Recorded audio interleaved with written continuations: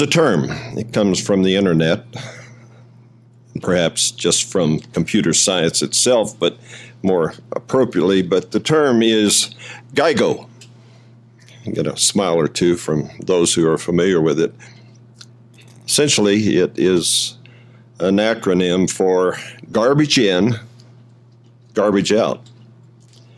That kind of means for computer programmers, if they don't have good programming going in, they can't expect a very good product coming out of it. And, brethren, this is actually a pretty good and a pretty accurate description of what? Us, our human nature. God says this about mankind, and I'd like to read what he does say from a couple of scriptures in the Old Testament. And I'm certain most of you are more than familiar with the epic scenes and as they've turned out to be in Genesis as God formed man and woman and all the things that went on then. But let's go forward a little bit in the story. Isaiah 55, verses 8 and 9.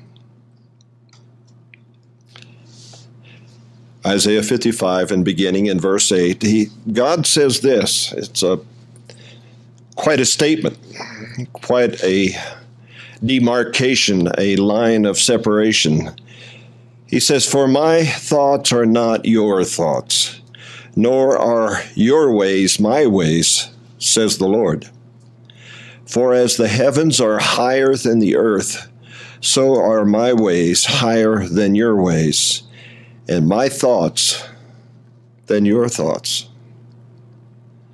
Let's add a little gasoline to the fire here, talking about our way of thinking as human beings. Jeremiah 17 and verse 9, I'll read a statement from that verse. Jeremiah 17 and verse 9. And there are many other places in the Bible that in the Old Testament, where I'm spending a little bit of introductory time right now, where what God is expressing here is magnified time and time again. Jeremiah 17 and verse 9, the heart, that really has to do emblematically of the, the mind of human beings. The heart is deceitful above all things and desperately wicked. Who can know it. Deceitful above all things, desperately wicked, not just making a statement, but putting, as we could almost say, superlatives to make the point, to drive it home.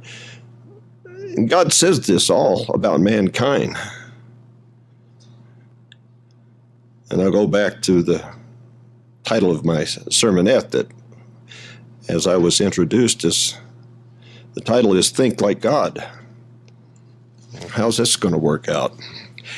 Jesus taught this about people during his earthly ministry, and we'll go to Mark 7, verses 20 through 23 to see what he actually did say. He was confronted by the Jewish leadership, and they were appalled that his disciples didn't wash their hands in the prescribed fashion, which was all very ceremonial, and you can see something like that as they, the elders or the people, stand before the wailing wall and do their bobbing and stuff printed prayers into the or handwritten prayers into the wall there very tradition bound in that society and that's true of the time of Jesus Christ. And he takes exception with this, and he teaches, and he said in verse 20 of Mark 7 what comes out of a man, that's what defiles a man. Because the Jews were making a big point uh, about defilement before eating with unwashed hands. For from within, out of the heart of men, proceed evil thoughts, adulteries, fornications, murders, thefts, covetousness, wickedness, deceit, lewdness, an evil eye, blasphemy, pride, and foolishness. All of these evil things come from within and defile a man. I think this goes hand in hand with what I've already read from Isaiah and Jeremiah about how deceitful above all things and desperately wicked, as Jeremiah says about the human heart or the human mind, the human nature that we have. Now, going forward a little bit more, this is the message of and for Christianity. I told you what God said in about mankind in the Old Testament, what Jesus taught in the New Testament. Now, in remaining in the New Testament, let's go to Romans 8, verses 6 through 7. This is the message that the ministry of Jesus Christ, those he appointed in the church to bring out to the people of that time and to our time for all time. Romans 8, verse 6 For to be carnally minded is death, but to be spiritually minded is life and peace, because the carnal mind is enmity, that is, hatred against God, for it is not subject to the law of God, nor indeed can be. Brethren, if we accept these verses cumulatively, if we believe them, then what are we to do about them? And perhaps what have we done and what should we continue to do? I'd like to go back go back to some basics here. Oftentimes we have people contact us and they like what they hear. They get all, love the term, Twitter pated, excited, at least superficially, about learning new truth. And for some reason, they never advance. They never do what I'm about to read from Acts 2, verse 38, to really begin the true process of learning to think not like a carnal human being, but rather to think like God.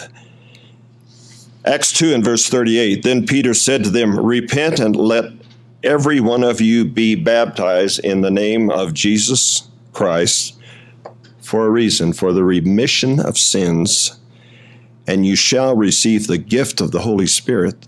several steps involved here. Repent, be baptized. Don't put that off if God is calling you, because your sins will not be removed until you go through all of these steps. And you shall receive the gift of the Holy Spirit. Then you can replace the proverbial old way of getting air out of a bottle is to put something in to drive the air out. So if you want to get air out of a bottle that's empty, how do you do that? Pour water in and it'll drive all the air out pour the Holy Spirit into yourself through doing these things, God will do that. And you can change. The message continued, Acts 3, verse 19. Peter again preaching. He says, Repent therefore and be converted. Don't remain as you are or were, that your sins may be blotted out, so that the times of refreshing may come from the presence of the Lord. This is what we preach. This is the message of Christianity. 2 Corinthians 10 and verse 3 through verse 5, bringing this forward because the ministry kept coming back to this, and here we see Paul's writings. He says in 1 Corinthians 10, verse 3 For though we walk in the flesh, know, in this carnal body, we do not war according to the flesh, and it is a war, the flesh against the spirit.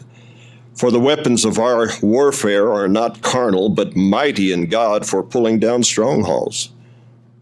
Not carnal, not fleshly. We have His Holy Spirit to fight with, casting down arguments and every high thing that exalts itself against the knowledge of God. Now, notice this powerful statement, this challenge, bringing every thought into captivity to the obedience of Christ, learning to think differently.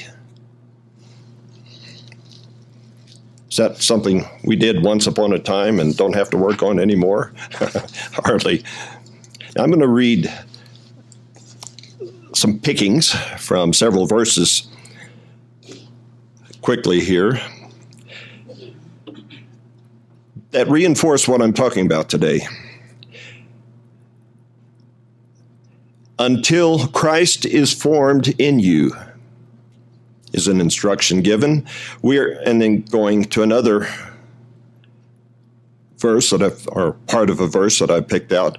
We are told to arm yourselves also with the same mind, and it's speaking as the same mind of Jesus Christ. Continuing, let this mind be in you, which was also in Christ Jesus. Continuing, Christ in you, the hope of glory. And without Christ in us, there is no hope of glory. And then another, but we have the mind of Christ. Now, if you're taking notes and if you want to, I'm going to do this little mix and match differently. I, am just going to give you now the scriptural verses that I quoted from without rereading them. But if you want to go back and review them in depth, that might be your homework from this sermonette. Galatians 4 19, 1 Peter 4, verse 1, Philippians 2, verse 5. Colossians 1, verse 27, 1 Corinthians 2, verse 16. And there are more. I could keep going through the Bible and pick out things that teach this truth that we have to have Christ in us. In fact, I will give you one more verse in a moment, but first, Galatians 5, without turning there, I'm just going to make this statement about Galatians 5. It draws a contrast between the works of the flesh, the carnal mind, and the fruit, the product of the Spirit, of the Holy Spirit of God. Between being carnally minded, like Adam and Eve were, and like all of humanity is, and being spiritually minded, like Jesus Christ was, is, and is teaching us to be. Now, a final scripture, 2 Corinthians 13 and verse 5. Here's the challenge. This isn't just a call, an altar call to get baptized, far from that. It's a reminder for the season we're about to enter into in Passover, but it's not just then that we do these things. This is day in and day out. 2 Corinthians 13 and verse 5. Examine yourselves as to whether you are in the faith. Test yourselves. Do you not know yourselves that Jesus Christ is in you? Unless indeed you are disqualified, is the little kicker final statement there. We're supposed to be able to know that, to prove it. We can know that Jesus Christ is in us if we think as he does, as he thinks. And if we do, brethren, then we are thinking like God.